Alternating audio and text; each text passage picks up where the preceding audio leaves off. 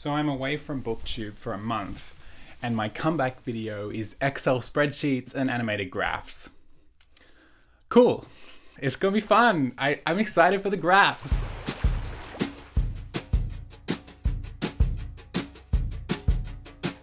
Hey guys, my name is Angus and today I wanted to go through with you my reading stats for January 2021 and wrap up everything that I read. Um, this year I'm challenging myself to read 100 books, which I know for some people isn't a lot, but for me, I think the most that I've ever read in a year is like 50. So this is going to be a, a big jump for me. My reading fluctuates month to month. I thought it would be a good idea to try and keep me on track to do um, wrap ups where I analyze my stats for the month with some cool animated graphs and track my reading progress, simply to help me track how I'm going and try and stay on track because I suck at staying on track with everything. Um, as you can probably tell by my fluctuating amount of YouTube videos. Anyway, today we'll be looking at everything from how many pages I read, the genres I read, the moods of books I read, um, my star ratings, and generally what kind of books I'm reading, the length. Um, I've made a bunch of really cool animated graphs, which I think are fun. I don't know if you guys are gonna enjoy them, but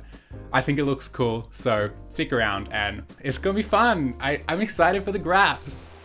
Alrighty, so to start us off, I read eight books in January, which for me is a pretty good effort. Um, I yo-yo a lot with my reading, as I said, um, so I'm pretty proud of this. And as of February 1st, this puts me still on track for my reading goal. Altogether, I read 3,225 pages, which, when I say that out loud, seems like quite a lot for me. So I'm pretty proud of that too. Of the eight books I read, 37% were non-fiction and 63% were fiction, which again, I'm happy with. Uh, this year I definitely wanted to try and read more non-fiction, so this is a really good start for my year. My average star rating this month was 3.63. I read one two-star book, one 2.5 star book, two three-star books, one 3.5 star book, and three five-star books. Everything was either average or excellent, apparently. In terms of genre, there was quite a broad spectrum. My biggest three, however, were young adult, politics, and thrillers. This is, I mean, pretty predictable. I read two political memoirs, so that's uh, probably why that one's so high, and also my go-to genres are young adult and thrillers. Looking at the page numbers, I typically chose to read books that were fast-paced and 300 to 499 pages in length. 25% of the books I read were 500 pages plus, 63% were 300 to 499, and 12% were under 300 pages. Uh, mood wise, there was a pretty big mix this month, but the standouts were dark, reflective, and mysterious. And this is my monthly comparison graph. However, as it's only January, we don't have any other months to compare, so it's looking pretty bare at the moment, but I'll add to this as we go. Alrighty, so those were my stats for January 2021. Now I'm gonna go through and talk about all the books that I read. So the first book I read in January was White Ivy by Susie Yang. This is an adult fiction thriller, kind of. This is a talented Mr. Ripley-esque story about a young girl's obsession with her privileged classmates and the lengths she will go to to essentially like fake it till she makes it and claws her way into this rich family's life. It's a really interesting character study into like these horribly self-absorbed characters living these really shallow lives.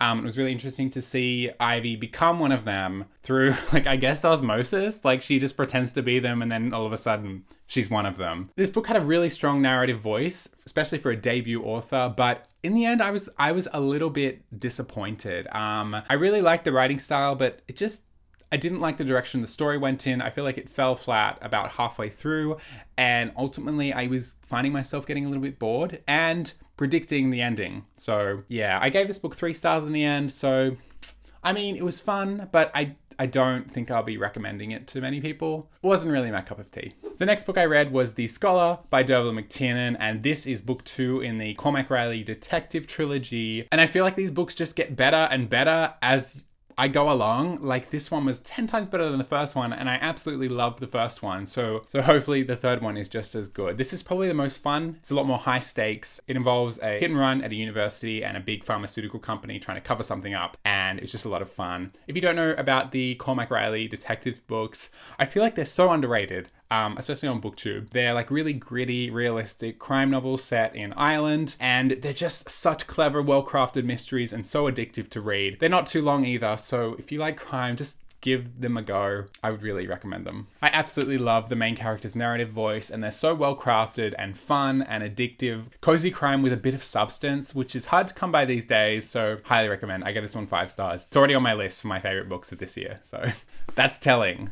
The next book I read is None Shall Sleep by Ellie Marney. This is like a gruesome Silence of the Lambs like YA thriller revolving around two teenage FBI agents who get caught up in a serial killer case. The description of this book promises so much, but in the end, I ultimately felt like this felt really flat. It honestly just felt like a mid season episode of Dexter or Hannibal to me. There really wasn't anything special about this book. Like, it was fun, but I just feel like I've seen the story on TV a million times, so I don't really know why it needed to be published. I don't know, the back promises so much more, and it, it promises like almost like a horror, scary thriller book that you shouldn't read at night, but I don't know, I just, I just thought it was okay. I, I gave this on three stars, I think.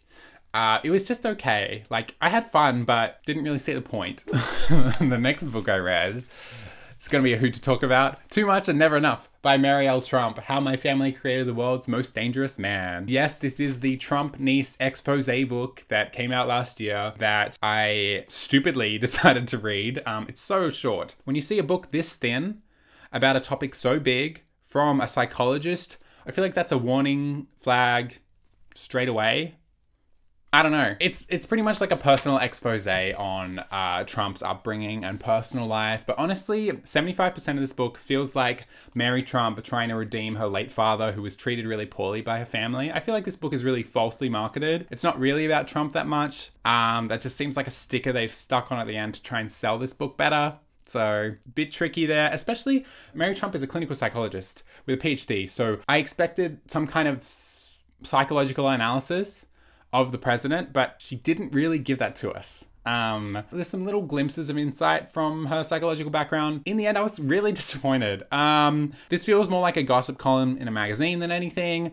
Um, and I think I ended up giving this two stars, so very disappointed. The next book I read was Felix Ever After by Kacen Callender, and this was phenomenal. Um, uh, you've probably seen this all over booktube, so I won't go too much into it. But I'm just gonna say this is this is as good, if not better, than what everyone's saying. Um, Felix Ever After pretty much deals with the transgender teens coming of age story. You know, discovering love for the first time and their place in the world. Um, it's just so beautifully written and i just I, i've never read anything like this before so i just i ate this up. Um this book will always hold a very special place in my heart i think. I don't know what it was but ya romance stories these days don't really phase me much but this one my heart grew like three sizes while reading this. So i gave this five stars. It's on my favorite shelf it's just it was too good. Alrighty, the next book that I read, I nearly didn't read, but then decided to give it a chance. Um, Solutions and Other Problems by Allie Brosh. Back in like 2010 and 11, Allie Brosh ran this really successful, popular blogspot blog called Hyperbole and a Half, and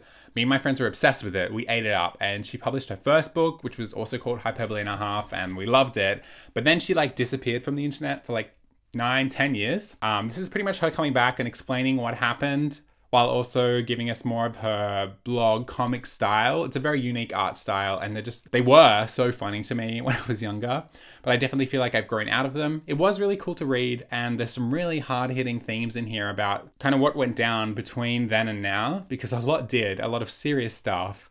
Um, and for that reason alone, I feel like I enjoyed this a little bit more than I would have if it was just purely another rehash of her blogs. But yeah, in the end, I gave this three stars. I feel like it wasn't as good as her first book, um, but at the same time, Oof, I felt some stuff reading this. Alrighty, the next book I read was Amari and the Night Brothers by B.B. Alston. And I wasn't planning on picking this one up. I don't really read middle grade, but I received an advanced reading copy, so I thought I'd give it a go. And oh my god, you guys, this was so good. This is like such a fun, original, fresh middle grade series that kind of blends Nevermoor with Men in Black and Percy Jackson. It's a middle grade debut about a girl from the Rosewood low income housing projects finding out that her missing brother is a part of a secret bureau of magical, supernatural um, investigators.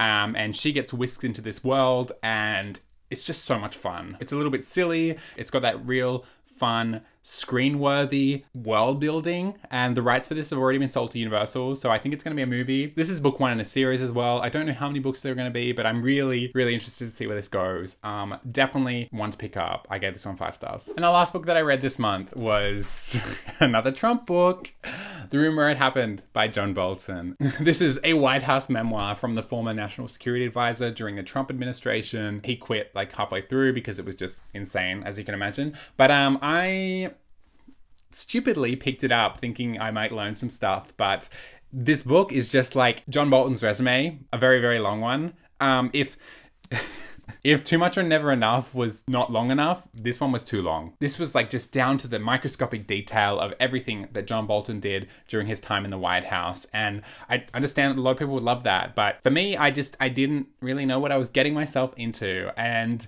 my god, these politicians are so full of themselves. Like he ev- nothing John Bolton did was ever wrong. Like the whole book, he was just flawlessly executing his plans. Nothing went wrong. I, I guess that makes sense. It's a political book. Anyway, disappointed. I gave this one two and a half stars. I think I need to stick away from the Trump books. It was it was too much. I've had enough for now. Okay, and those ah are all the books that I read uh, this month in January. So it was a pretty good reading month for me. I, am not strong enough for this. Um, eight books, I, that's pretty good for me. I know it's not for a lot of other people, but for me, I'm, I'm pretty happy with that. Hopefully I read more next month or the same at least because I'm on track for my reading goals. So yeah, I hope you guys enjoyed this. Um, thank you so much for watching and I will see you next time. Another video. Bye.